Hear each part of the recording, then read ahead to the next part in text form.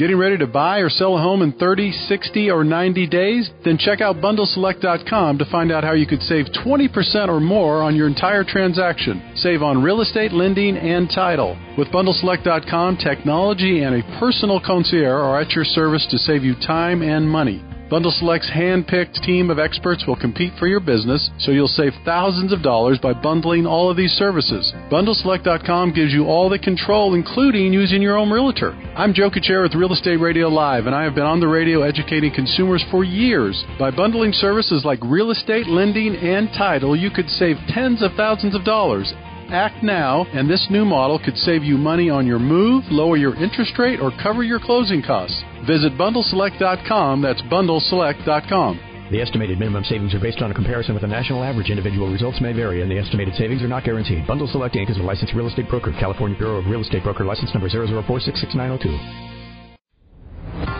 Welcome to Real Estate Radio Live, an informative and engaging podcast discussing everything you need to know about the world of real estate.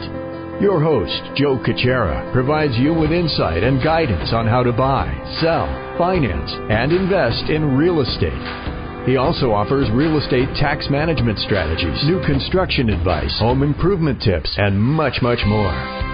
And now, to guide you around the world of real estate, Here's your host and Real Estate Radio Live team leader, Joe Cucchiara. Good afternoon. Welcome in. Joe Cucchiara with Real Estate Radio Live. Thank you again for following the show. Those that are uh, following us on Facebook, tuning in, appreciate the feedback and the correspondence back and forth. Just for a quick update as we roll through the week, we are on Tuesday.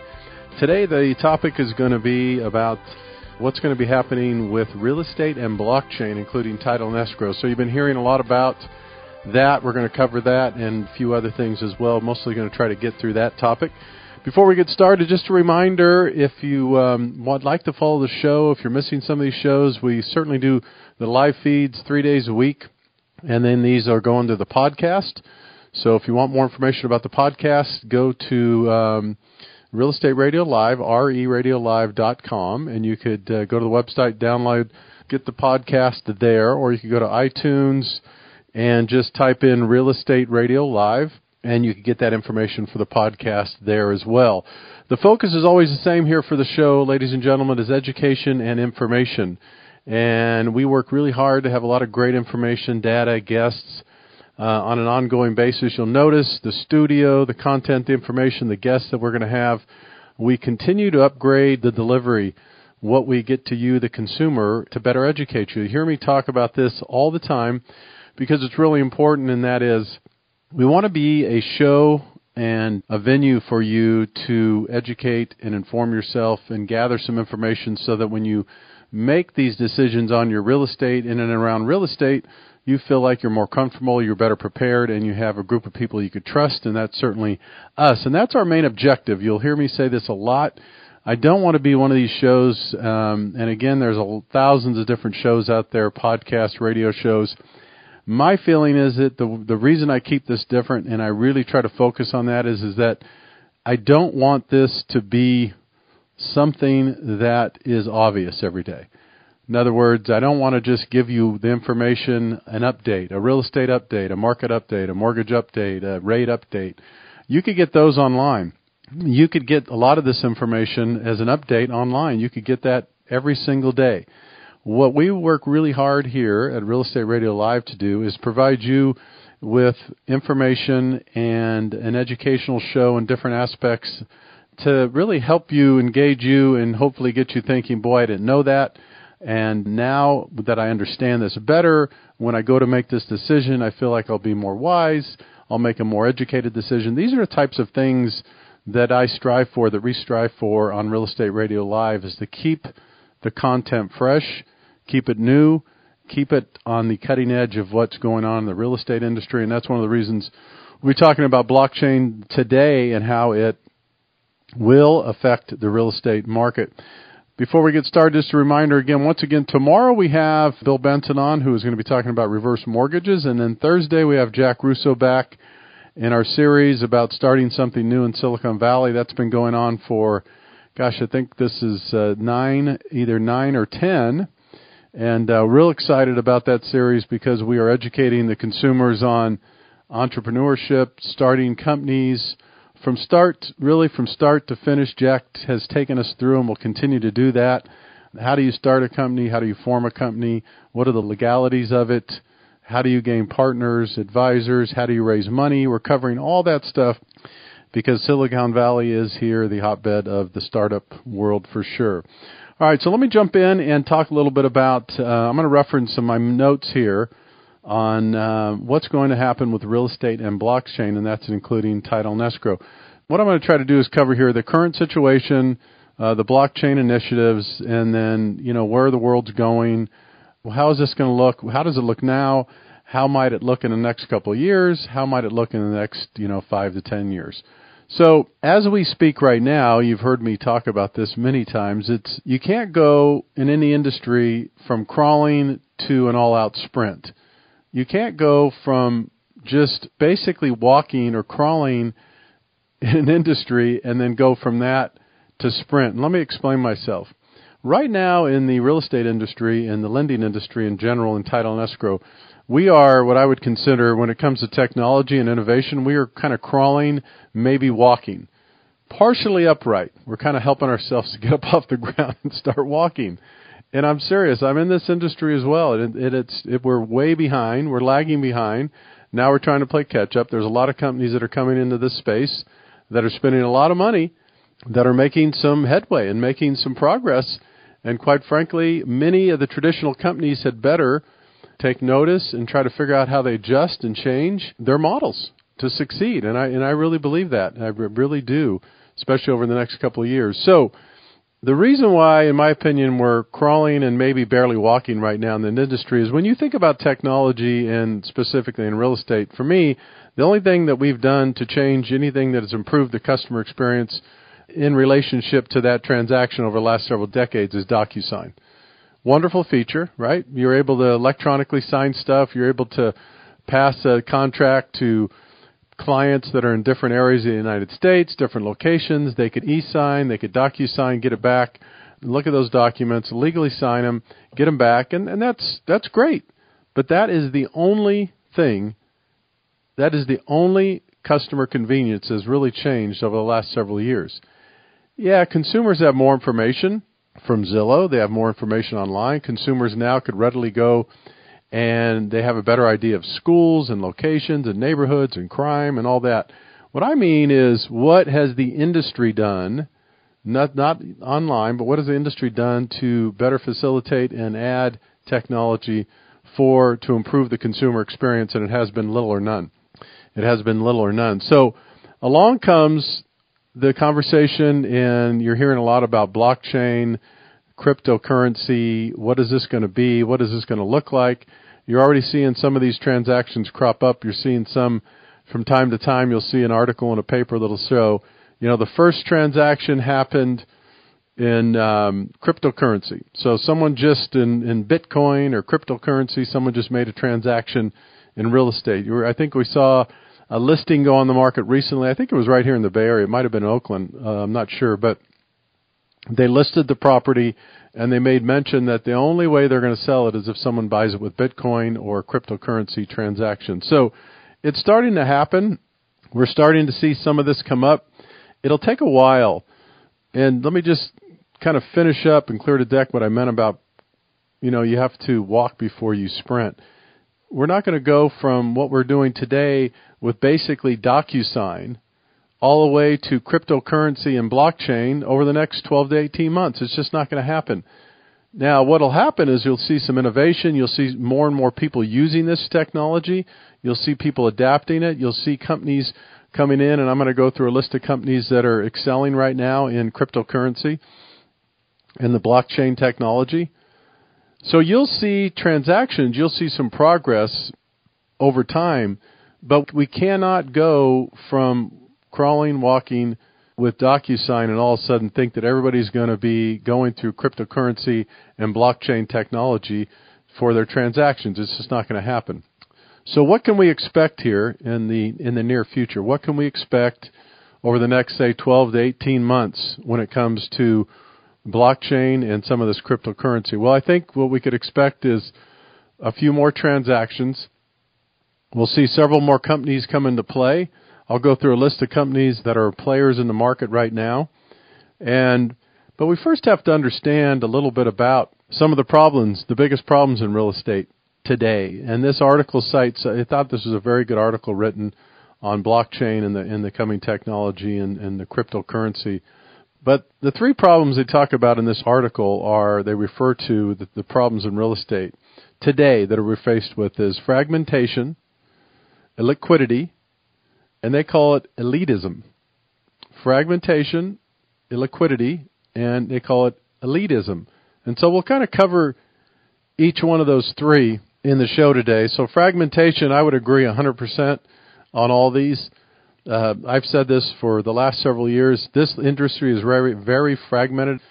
It's moving in different directions. You have real estate doing one thing, lending doing another thing, title and escrow doing another thing, and even though we all work together in the same industry, we're all working separately against each other in many different ways, and certainly we're not working together for the better of the consumer, in my opinion, right now, not 100%, and that's going to change in the near future as well. So the fragmentation of the industry is certainly there. I would agree 100%. But it's a big, big industry. When you look at the money being spent, the transactions, and we're not even talking about commercial right now. I'm just talking about residential real estate. When you get into the commercial, it's in the trillions of dollars. So this is a huge, huge industry that is a mover. I mean, the housing industry moves, the real estate, the commercial, it moves the needle when it comes to the economic factors that go on in the economy. It's it's big everybody has to be paying attention to this. And so the industry is fragmented for sure. That's what we know. It is fragmented for sure. A lot of liquidity. There's a lot of problems to solve in this industry. And there's a lot of new startups that are trying to do that. And they're trying to do that for sure. So, cryptocurrency, some of the property startups that are getting in the marketplace, I'm not going to really go through a bunch of them, but there's, I'll read a few of the names that are playing a part in the industry right now and will probably play a part in the coming future. Although there's going to be several others that are going to be jumping into this marketplace too. So they have Trust Token is one, Volex is another one, Estate Association, Atlant is another one, uh, Chromaway, there's Blockchain, Brick Block, Propy, Smart RE, Salt Lending, Block 5. That's just to name a few of a lot of these startups that are spending a lot of money on cryptocurrency and blockchain technology. So to summarize this kind of in the first stage of, of what I want to talk about today is I wanted to quickly kind of discuss most of us have if we're in this industry or we've had a transaction recently if we're a consumer listening to this, if you're a consumer pay special attention to this show and what's going on today, and then hopefully you'll do that going forward because this is going to be an incredible educational process for you. We're going to detail step by step what's going on in the industry, what kind of changes can you expect, and what kind of teams and what people are you going to be working with with these transactions as this evolves. So, right now, as we stand, there's a lot of companies coming into the market. Most of us would agree with that. It's crowded. It's confusing. I think most consumers would say, you know, I I don't want anything to do with cryptocurrency and blockchain. I have too much to learn. My smartphone just to navigate through that, it's tough enough. So the challenge we have in front of us is that this is coming at the consumers really, really fast. All this stuff is coming fast. You're reading about every day. There's hundreds of millions of dollars being pumped into the market with these startup companies that are trying to get into the different industries, and real estate is one for sure that's going to be right in the thick of things, and they'll be that way going forward the next couple of years. So we have the startups. We have a lot of information about this. We have a couple transactions that are taking place. So we have to, you know, you ask yourself, how do you, if you see this, I mean, I could, personally, I could picture this. I really can in my mind already where it's going. And I think if you there's so many so many hurdles still. Most of us would agree if you understand this industry with regulation, with compliance, legal issues that we don't want to get into today. And maybe I'll talk to Jack a little bit about this on a side note, the attorney, about the legal complications. Because you could see this until it really gets ironed out. Can you imagine if you do a transaction with cryptocurrency or blockchain and there's a problem or there's some fraud associated with it or was there really a valid, you know, title and escrow or um, where did this money really come from? We thought it came from a good source, but is it money laundering? I mean, there's a lot of things that are going to go into this. So don't think that this is going to happen overnight, but I could see a day, and I don't know if it's 10 years from now, 15 years from now, from 20 years from now, but I could see a day when all this, when most of these transactions are peer to peer. I really can. You and I sitting across the table or on a conference call or in front of each other, and we decide to do a transaction in real estate, we both log in to our crypto or blockchain accounts and we conduct a transaction amongst each other with no third parties involved. So we sign into our blockchain account, the virtual account, and there's a piece of property listed, and I'm going to legally show that property being turned over to this person, and in exchange for that, that property will not be released electronically until that money is in my account. Number one, and number two, there's clear title, and they understand that. So those, I could see a day when that happens. Now, some people in industry might would say well, that'll never happen, but it will happen, and it'll take time. And we're not going to go again from crawling and walking to blockchain and crypto. It's just not going to happen that way. It's going to take a few steps.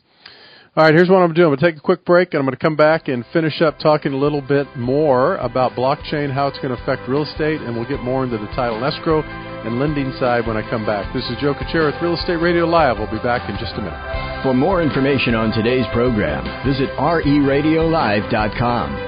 That's reradiolive.com.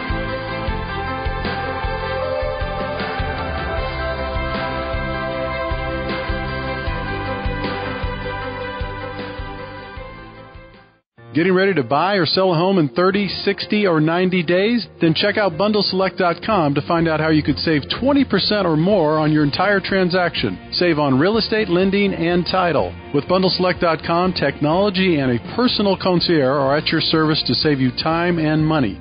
Bundle Select's hand-picked team of experts will compete for your business, so you'll save thousands of dollars by bundling all of these services. BundleSelect.com gives you all the control, including using your own realtor. I'm Joe Cucchiara with Real Estate Radio Live, and I have been on the radio educating consumers for years. By bundling services like real estate, lending, and title, you could save tens of thousands of dollars. Act now, and this new model could save you money on your move, lower your interest rate, or cover your closing costs. Visit bundleselect.com. That's bundleselect.com. The estimated minimum savings are based on a comparison with a national average. Individual results may vary, and the estimated savings are not guaranteed. Bundle Select Inc. is a licensed real estate broker. California Bureau of Real Estate Broker license number 004-66902. Welcome back to Real Estate Radio Live. For more information on today's topic or guests, just visit reradiolive.com. That's reradiolive.com. Again, your host for today's edition of Real Estate Radio Live, Joe Cucchiara. Welcome back in. Joe Cucchiara with Real Estate Radio Live. Thank you for those that are following us on Facebook. Appreciate it very much. Uh, we'll continue to work hard to provide you, the consumer, with more education information so that helps you make wise decisions in and around your real estate. Today we're talking about blockchain technology, how it will affect the real estate world, lending, title, and escrow. The first part of the show, I talked a little bit about the history of it, where we are now, what we could expect. Now I want to talk a little bit about the potential challenges in implementing this type of technology and why it's going to take a while. And then we're going to talk about the reality of this business and how it's all going to change. And for me, I enjoy the thought about the futuristic thinking. I understand that things don't always stay the same. I know that makes some people uncomfortable, but the reality is is if you're in this business or any business, if you're not understanding or studying how it's going to change and how it's going to evolve, you're going backwards. You're losing. You're losing rope every single day. You are going to lose every single day if you're in this industry and you're not having a better understanding of which direction it's going. And this means those that are in real estate, title and escrow and lending. It just does. Look at the structure in these industries right now. I'm going to speak to these right now that are reality. And if you're a consumer, you understand this if you've had these transactions. Let's first take the real estate industry. Most of them have large office spaces, nice office spaces. Most of them are in some of the most expensive real estate in different towns and cities and locations. The overhead is tremendous. The overhead is a tremendous amount of money in occupying a building that you're paying seven, eight, nine, ten, twelve, twenty dollars a square foot for. And some of these buildings are ten, fifteen thousand square feet. So we're not going to sit here and do the math and do a P&L, but the logical way this is going, ladies and gentlemen, and as a consumer, you better understand this too, just with the effect of Amazon and everything else, and the retail business is changing, and shopping malls changing. A lot of these stores, the bookstores, I could go on and on, the things that are changing. Less and less of these industries really need the command and need the office space that we need. Same thing on the lending side. We're in a big building. We have a lot of people in the building. We're paying expensive rent. Title companies are the same way. The majority of the clients that I see out of every transactions that I do, maybe maybe one or two people, maybe 10% of people come in the office. And don't get me wrong, I ask them every single time, especially if I haven't worked with them before. I would love to have you come in and meet you. Where would you like to meet? Would you like to come in the office? I would offer them every single time. But 99% of the time, guess what they say? I'd love to. I'm really busy. Can we just do this on the phone? Can I upload the documents? Can I electronically send these to you? So you're not going to argue with a consumer that's busy and force them to come and see you. My point is, is this is what's happening in this industries, and it's not going to change anytime soon. There's not a need for the infrastructure that is currently in place in these industries. So the consumer is eventually going to benefit by this. You would say, how's the consumer going to benefit? Because as these industries change, we change the models. You don't have the overhead. What you have to do is you have to adjust to consumer needs. So I've said this before. I'll continue to say it. You're seeing an evolution. You're seeing a wave come through our industry where the consumers are demanding more of a better use of technology lower costs, lower fees, better service, a better use of technology. We have to continue to deliver that. Now, the challenges that are going to come with blockchain that are very obvious, I'll go through just real quickly here, that we're going to have to overcome is there's compliance issues, right? There's big compliance and regulatory issues in this industry, in financing and real estate. You have to be very, very careful. There's money laundering. There's that's that you know when you're dealing with cryptocurrency, it's easier said than done. A lot of the government agencies have controls over the lending. The majority of lending is done by Fannie Freddie, which are you know government agencies. So this is not going to change overnight. There's going to have to be a melding of technology, innovation with government and old industry, which is not going to be easy. You're talking about butting heads. You're talking about new industry coming in, new investments, new startups wanting to use technology and evolve. And what they're doing is they're going to be bumping up heads against regulatory environments, government agencies, and people that have doing things the same way, the same way for such a long time. And that's what they're going to be up against. And it's not going to be easy. It's not going to be easy at all. So those are the challenges. That's what's going to happen. We're going to see it coming though. Don't fool yourself. The consumer, what can you expect is you're going to see a better use of technology with real estate lending, title, and escrow, and you're going to see cost cost reductions, fees reductions. You're going to see a lot of flattening of those. It just is going to happen. It's going to happen more and more, and you're going to see transactions eventually quicker, cheaper, faster, and that's what really what the consumers want. So before I wrap things up again, just understand I want to kind of summarize that this is not going to happen overnight, but it is going to happen. And from the consumer's perspective, I would encourage you to understand this concept and what's going on in the industry, and that you, the consumer, deserve to work with the best team, people you trust, but also you deserve to get a competitive program and deal and structure in what you're dealing with today. I've said this before. A lot of people are just finding out now what they could get, what they could ask for, how the industry's changing, and how they benefit. So, even though blockchain and cryptocurrency is going to take some time, I would say stay tuned, educate yourself as much as you can. We'll continue doing that on this show. And I will tell you that as the industry changes, we'll evolve with you. We'll share this information with you. We'll help you walk through it. And we're going to give you the places to go, the people to work with who are going to not only take the best care of you, but also be very, very competitive in what they're doing in their offer.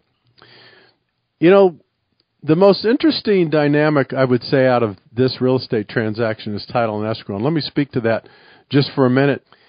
So most people, when you understand title and escrow, understand that this is owned by large insurance companies. Title and escrow is run and operated by large insurance companies.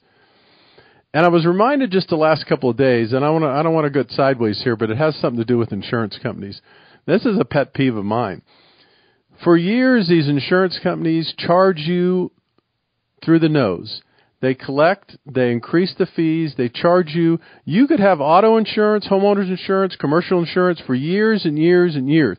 I have been a, homeowner myself since 1987. 30 years I've been a homeowner, right? For 30 years. And I've never filed one claim. The percentage is what I'm getting at is these insurance companies make billions and billions and billions, that's a B, in profits every single year. But the minute we have a catastrophe, the minute there's fires or floods or anything else, what do you hear the state commissioner talk about? What do you hear the insurance companies talk about? You know what they say? Here's what they start talking about because they want to set the stage for what's coming. They start talking about how insurance premiums are going to go up because of these disasters, and insurance premiums, they're not going to cover certain people in California because they can't do it because it's not affordable because they're paying these claims. Yet they've collected billions and billions and billions of dollars over the last 20 years. This is the stuff that drives me nuts, and I know it drives most consumers nuts. No one likes to see disasters. No one likes to see fires. No one likes to see floods, but they happen. And guess what? When they happen to these poor people in their homes, they should be recovered with insurance. They should be provided insurance like they should, and they shouldn't be penalized on the other side of it just because there was a natural disaster like that. But this is what's happening. These greedy insurance companies make billions of dollars, and I'm sorry, I don't feel sorry for them every once in a while if they have to pay out hundreds of millions of dollars. They're not going to go bankrupt. They're not going to go bankrupt. What's frustrating is that they continue to raise these rates so that they could keep their profits intact. Believe me, I want everybody to be profitable. That's not the point. But I don't want it to happen on the back of consumers just because they've worked hard their entire life, paid their claims and their insurance, I should say, and then every once in a while when the claim needs to be paid, you get penalized as a consumer, and these these natural disasters, you watch and see. Those of you in California, all of us in California, our insurance premiums are going to go up. And it's because instead of making 150 billion next year, maybe they make half of that. I'm making those numbers up, but you know what I'm getting at here. It's frustrating, and I think the regular consumer is frustrated by this so what you need to do as a consumer is take better charge, make sure that you're getting the right coverage, make sure you're getting competitive prices for yours, and make sure when you have a claim, they pay on it. And the reason I want to talk about this too, this leads into title and escrow insurance, because insurance companies run title and escrow. Now, title and escrow companies serve a great purpose in our industry, ladies and gentlemen. Don't get me wrong, but this is a business conversation. And what I mean by that is if some people take it personal, I'm sorry. But no different than lending, real estate, title and escrow is one of the biggest culprits of an industry that's got to change, and it will change. It's going to take some time because they're insurance companies. And they have a lot of money, and they pay a lot of money to politicians, and they're lobbying all the time. But listen to this, ladies and gentlemen. In the United States alone, this title and escrow, this title service, this title business is a $16 billion a year market. $16 billion a year market. They provide a great service, but it's for an unreasonable price. It's for an incredibly unreasonable price. This is what this article talks about, and I couldn't agree more. In fact, when someone tells you, well, wait a minute, the reason you need title and escrow or title insurance because what if you get a claim and what if there's a cloud on title and what if, well, you know what the stats are? Less than 5% of these revenues are in claims. In other words, they only pay less than 5% of their revenues in claims. So, yeah, there's a couple, but percentage wise, there's almost none. My point behind this before I close out is that the world is changing, real estate is changing, blockchain is coming, cryptocurrency is coming. This industry has got to change. We will change. The consumers will benefit, the consumers will evolve. These are the kinds of things that are taking place in the industry. $16 billion for title and escrow in the United States, and they call it here in the article, it's basically a legalized racket. it's a legalized racket. 80% of people have a mobile notary that comes to their home or their office to sign them off. So why would you need hundreds of thousands of square feet of expensive buildings with expensive signs, paying people expensive salaries at all different senior levels, all the way down to the escrow offer to the sales reps? Why would you need all that support for an industry that requires some title search and a title policy and then for someone that's going to sign that doesn't need to come to the office and sign. This is the reality. It is all changing. And it's the same with lenders, it's the same with real estate companies in the sense of where the money's being spent and how the competition is changing for sure. All right, unfortunately, we're just about out of time today. Just remember, if you want more information about the show, go to reradiolive.com. That's reradiolive.com com. Again, tomorrow's come back with us. We'll have Bill Benson, who's going to be talking about reverse mortgages. And then Thursday, we'll have Jack Russo back in the studio talking about starting something new in Silicon Valley and entrepreneurship and much, much more. Joe Cucchiara with Real Estate Radio Live. Thanks again for checking in. For more information, again, go to reradiolive.com. Thank you. Have a good afternoon. You've been listening to Real Estate Radio Live. For more information on today's program, visit reradiolive.com. That's reradiolive.com. Subscribe to our podcast. Discover more at reradiolive.com.